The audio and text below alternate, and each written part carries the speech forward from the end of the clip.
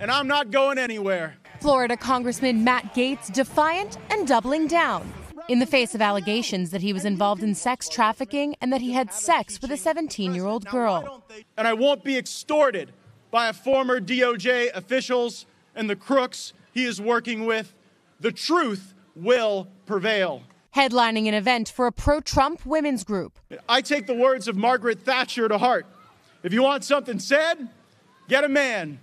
If you want something done, hire a woman.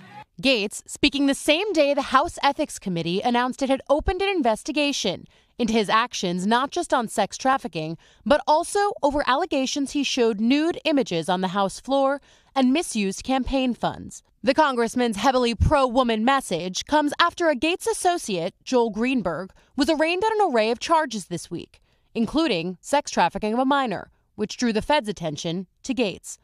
Federal prosecutors and Greenberg's attorney telling the judge they expect a plea and not to go to trial.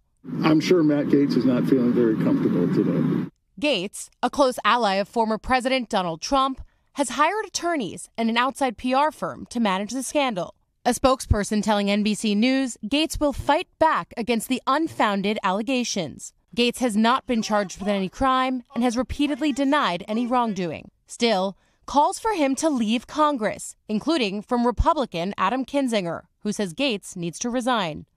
And while Gaetz deploys the Trump playbook, doubling down in the face of scandal, Republican allies have been hard to find. Female staffers in Gaetz' office said they never witnessed a hint of impropriety. However, the statement did not include their names. Even Trump has been subdued, offering only a reminder of Gaetz' denials. Gaetz taking it as a clear sign of support, blasting out a fundraising email asking supporters to help Trump and I fight back against another media hoax.